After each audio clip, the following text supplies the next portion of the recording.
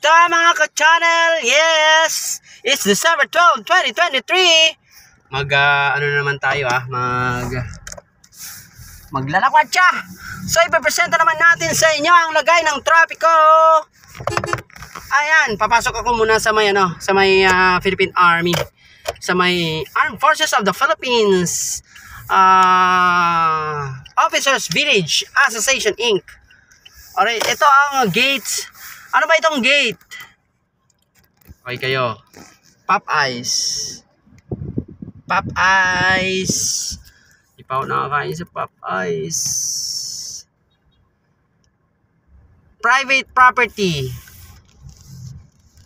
should be turned over and legitimate lot owners through AFPOBay. Oh. Yes, sir! Padaan lang, sir! Alright. Phase 2. Sa phase 2 tayo. Phase 2 ng Akpobay. Lulusot ako dito. Uy, meron sasakyan. Merong ah kasalubong. Ayan, magigibay tayo. Alright. Sir, papasok lang ako. Pasukin niyo ako, sir. Oh, sige, tuloy lang daw. Okay, gabing-gabi na mga guys, pero tayo pa rin ay magbibiyahe para i-present sa inyo lagay ng traffic mga guys. Tingnan nyo naman dito sa may Apubay, walang traffic. Kala nyo lang sa village dito, walang traffic ha. O, paglabas ko mamaya sa may Bayani Road. Mag-shortcut lang ako mga guys, pupunta tayo sa may uh, sa mayamang barangay. Alam niyo kung anong mayamang barangay, mga bilyonary mga tao dun? Yan, Forbes Park mga guys. So, pupunta tayo. Tara, let's go, let's go. Oy, aso, Ayaw pa makisama ng cellphone ko. O ayan, nasa ano tayo ngayon ah. Nasa loob pa rin tayo ng village. Kakanan na ako dito para lumabas ng ah, ano, exclusive ah, exit.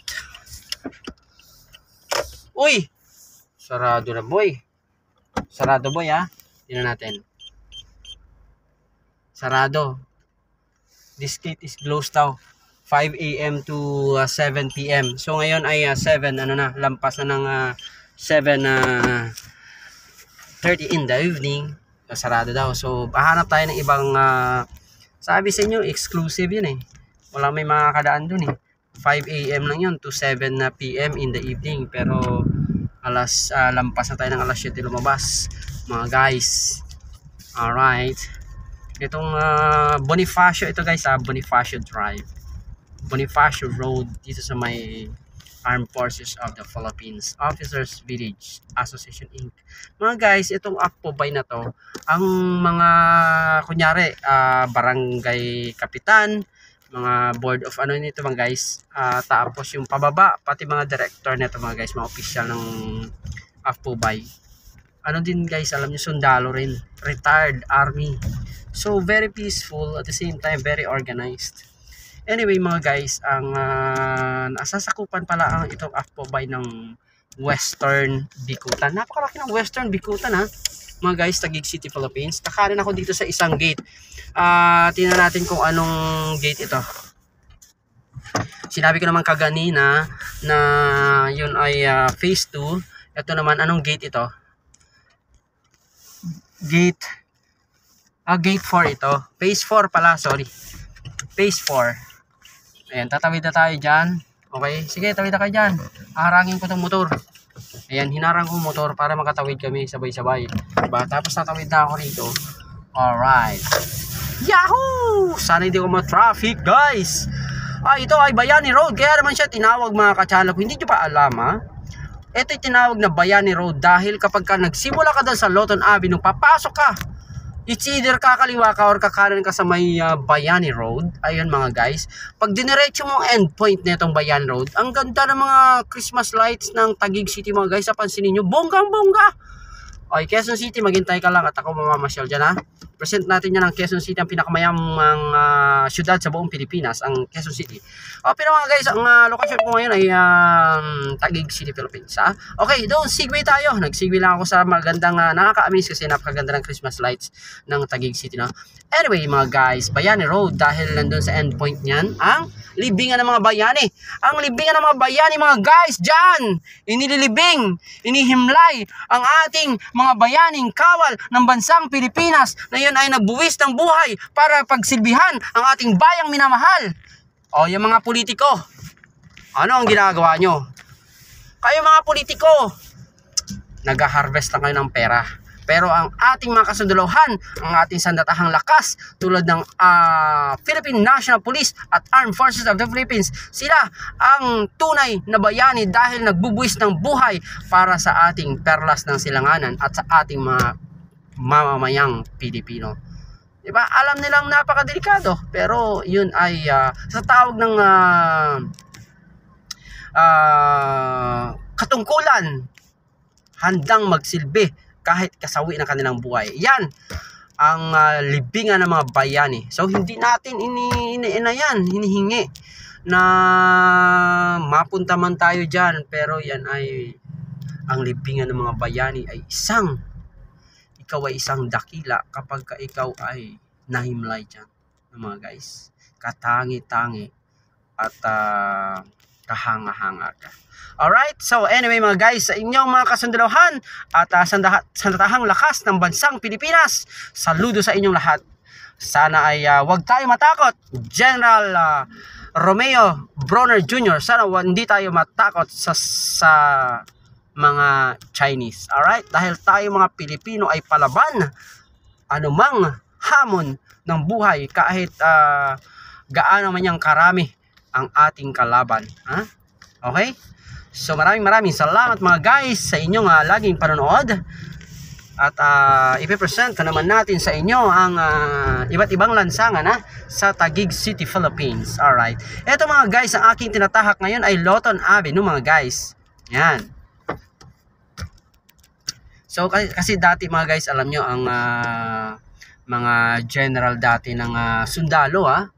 Uh, mga general ng sundalo. Merong sundalong Amerikano na nasawi sa labanan ng Ameri- uh, Philippine-American War. Alam ko merong general ah. Nasambit ko na yun sa aking uh, pag uh, ano, pag uh, uulat ng lagay ng mga trapiko pero naano ko na nakalimutan ko na no. Ayan, meron na merong uh, isang sundalo na nasawi general ha, general ng uh, American Forces na nasawi sa labanan ng Pilipino-Amerikano. Ayan. Anyway, mga guys, hindi yun si Loton ha, mga guys ha, nakalimutan ko na uh, tulad ng sinabi ko, naalala ko lang no, na mga sundalo mga uh, Amerikano noon na nandito sa ating bansa eh kaya sila nagkaroon ng uh, pangalan dito sa ating bansa dahil in memory of them. Yun, dahil nakakaroon na nagsilbi sila sa ating uh, bansa no kasi dati nga mga guys eh andito sila nag ano sa atin noong panahon na, na naging tayo ay naging United Nation no mga guys at uh, dito sila nag-stay sa atin, no? Alright. Anyway mga guys, ito ay uh, Lawton Avenue. Kakara na ako dyan sa may uh, 8th Street. 8th Street ba yan? Ayan, sa, sa may circle bound to, tinan natin mga guys. Well, uh, nakikita nyo naman ha, smooth pa rin ang uh, sitwasyon. Tinan natin paglabas ko dyan sa may, um, lalabas ako dyan sa may, saan ba? Parang, mm-hmm. ah, alam ko na. Sa Mac hindi ako lalabas. Kasi nga pupunta tayo sa may Forbes Park. Ah, Bonifacio yan guys ah. Bonifacio Global City. Alright, entry na tayo. Yun. So pupunta tayo doon sa Forbes. Forbes Park. Dalawa yan guys no. Uh, uh, south and north. North and south yan. No, hati yan. Kasi ang pinaka ano nun, pinaka uh, east southeast nun ay Dasmariñas Village ang southeast nun ng uh, uh, Forbes Park. Okay ayan. So iikot na tayo dyan sa may circle. Yung bandang kanan ko mga guys ano yan? Manila American Cemetery uh, Memorial Memorial uh, Memorial. Ayan. Ayan guys oh. Napakalawak niyan ng Ameri- Manila American Cemetery Ayan. Pero syempre, pwede kang mag-visit yan. Visit for send, uh, vi- ah, visitor center is now open. Pero kapag ka ikaw ay wala ka naman diyang kilalang namatay, walang kapamilya Amerikano, eh, hindi ka rin papapasukin ng security guard. Kahit na sinasabi natin security guard ay Pilipino, eh, hindi ka pa rin papapasukin dyan dahil mahigpit yan. No? Tapos, yan, eh, ibig sabihin yan, kunyari, yan ay cemetery ng mga Amerikano, ibig sabihin, ah, ano pa nila yan, extension ng ano nila yan. Ah. Parang ano, wala rin pinagkaiba yan guys eh. Wala rin pinagkaiba yan guys. Sa totoo lang, wala rin pinagkaiba sa embassy yan eh.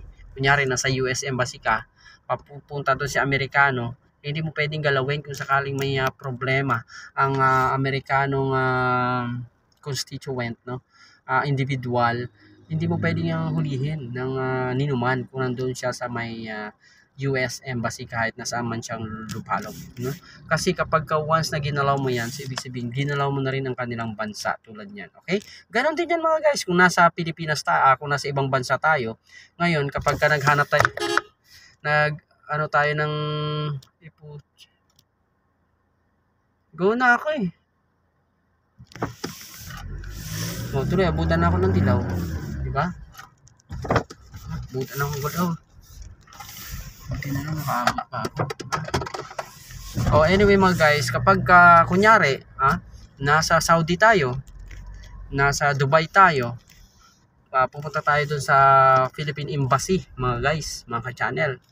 So, kahit ano may problema, punta lang kayo sa embassy ng ating bansa at kayo ay hindi magagalaw, no? Protektuhan, protektahan kayo ng estado. Alright? So mga guys, nandito na ako ngayon sa McKinley Parkway bound to Forbes Park. Hmm.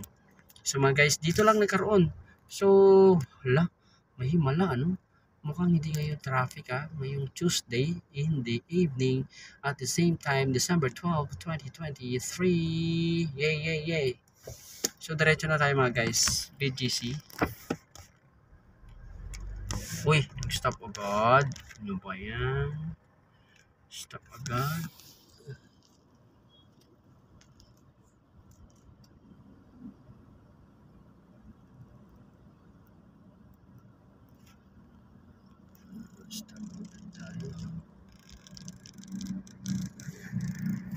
So, Taguig City, paglampas natin dyan, sunod din pagkasunod ng kalye, lampas dyan, Makati City na.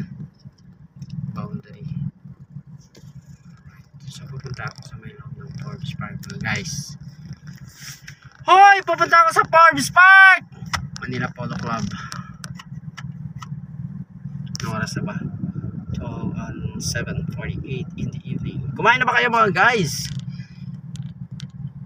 Kumain na kayo. Kung kayo nakakalimot ng uh, petsa, dito lang kayo manood sa aking channel ay ah, ngayon ay December 12, 2023, araw ng ah, Martes. Dito lahat mga guys, pinag-uusapan natin dito ang lagay ng mga trapiko sa iba't ibang lansangan. Ang ah, ating ah, Metro Manila o kilala sa tinatawag na National Capital Region is composed of 16 cities and 1 municipality. Ito ay binubuo ng Makati, Quezon, Maynila, ah, Pasig, Marikina, San Juan, Mandaluyong, Caloocan, Malabon, Nabotas, Valenzuela, Pasay, Paranaque, ah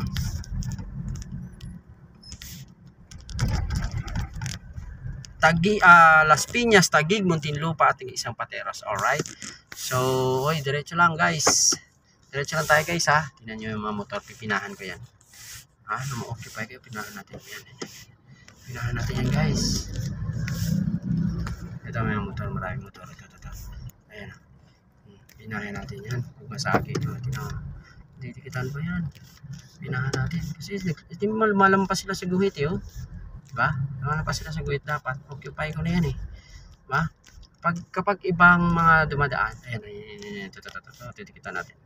Singitin natin yan. Titikitan ko yan. Pinipinahan ko yung mga motor na lumalampas sa guhit, oh. Kayo, kayo, pag mahuli kayo ng mga ano, huwag kayo, huwag kayo mag ano, mag, kasi ano yan eh, disregarding lane yan eh, disregarding, uh. Ayan, oh, may dikit sila, oh. pinahan natin, apakan natin mga paa. Diba? O, yun pa, yan, yan, yan, yan, yan. Ayan.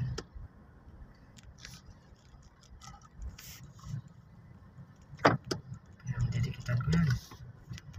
Didikitan ko yung mga motorcycle riders yan. Ba? oh, ito, lalampas ka. Hmm, lalampas ka. May lumampas pagka nandyan ako. Yan, yan, yan, yan, yan. Lampas sa guhit eh. Yan ang guhit oh. Dapat hindi niya ino-occupy yan. Ba guys? Papasok ako Manila Polo guys. Tinan mo. Sir, oh, di ba? Pinapasok ako, di ba? Alright, di ba? Hintay klupit boy. Pit tayo boy, eh. pasok. Diretso lang, Manila Polo. 30 kilometers per hour. Tatakbo tayo ng 40. Manila Polo to guys ha, Manila Polo Club. Ito, tingnan natin. Nakasarado yung barrier guys, tingnan mo. Nakasarado na barrier ha. Oy, padaanin nyo ako. Pag hindi nyo ako pinadaan, open! I-open mo guard! Guard! Open mo guard! Open mo! Yan! Buti na lang nakita niya ako, di ba? Open niya kagad. hmm. Tapos, pupunta tayo dyan sa may kanilang ay. Manila Polo Club din guys ha. I-present ko sa inyo napakaganda ng mga Christmas decoration dito. Ayun o. Oh. Ganda di ba? Di ba guys? Ang ganda no? Ano guys? Siyempre mga bilyonaryo nandyan eh. Kaya maganda talaga lantern nila. Diba? Oho. Oho. Oho. Ganda no? Guys, no? Ganda no?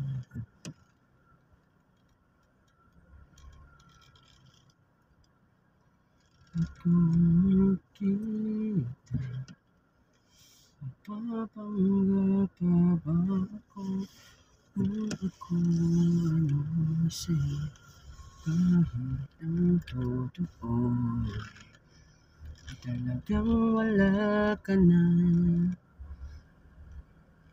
O yan mga guys, na-present ko na naman sa inyo ang mga iba't ibang ah, ating ah, pinupuntahang mga lugar ha. Siyempre, hindi makakaiwas talaga yung mga ganda ng mga lugar pagdating sa ating ah, pag-uulat sa inyo. Ha? Pag-present ng may iba't ibang magagandang lugar. Siyempre, para sa inyo itong lahat. O, hanap na muna tayo ng ah, ating ah, paparadahan since ang ating ah, VIP ay ah, mag ah, ah, get in touch lang mga guys, no? Alright. Sir, kumusta kayo dyan? Merry Christmas! Merry Christmas sa inyong lahat. Kung kayo ay nanonood sa aking ah ah, pag ah, ulat na malagay ng trapiko mga guys ha. Oh, paano? Hanggang sa muli. Have a great night. And syempre mag-ingat tayo lahat ha sa lahat ng pagkakataon. Dahil ang buhay natin ay iisa lamang. At ito ay kailangan ah, gumawa tayo ng mabuti habang tayo nabubuhay. It is a duty for every Filipino to serve our country all for the glory and of God. As always, mga guys, syempre, serving people is serving God. Bakit ang daming tao dito sa Manila Polo? Anong meron? Ha? Ano meron? Ba't hindi nyo ako inimbita? Ano meron dito? Ngayon, ngayong araw ng Martes, mukhang ang daming bisita. Aha. Maraming maraming tao ngayon ha. Mga guys. Mukhang wala tayong pupwestuhan ngayon ha. Walang ganito na lang.